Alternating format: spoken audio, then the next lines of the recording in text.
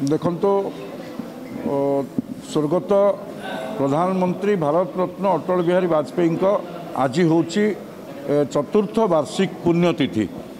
ସେହି ଅବସରରେ ଆଜି ପ୍ରାତଃ ସମୟରେ ଅଟଳ ବିହାରୀ ବାଜପେୟୀଙ୍କ ଦ୍ୱାରା ସ୍ଥାପିତ ହୋଇଥିବା ଏମ୍ସ ତା ପରିସରରେ ଥିବା ପ୍ରତିମୂର୍ତ୍ତିରେ ମାଲ୍ୟାର୍ପଣ କଲୁ ଏବଂ ଆଜି ରାଜ୍ୟ କାର୍ଯ୍ୟାଳୟରେ ଏକ ଶ୍ରଦ୍ଧାଞ୍ଜଳି ସଭା ଥିଲା।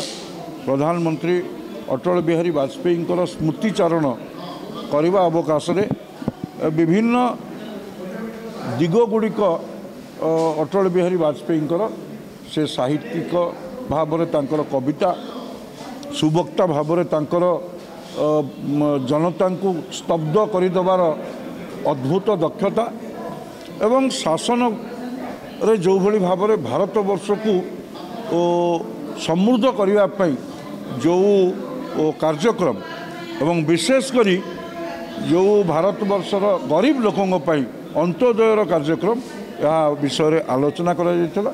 ମୁଁ ଭାବୁଛି ଭାରତରତ୍ନ ଅଟଳ ବିହାରୀ ବାଜପେୟୀଙ୍କ ସମ୍ପର୍କରେ ଯେତେ ଆଲୋଚନା କଲେ ମଧ୍ୟ ତାହା କମ୍ ପଡ଼ିବ।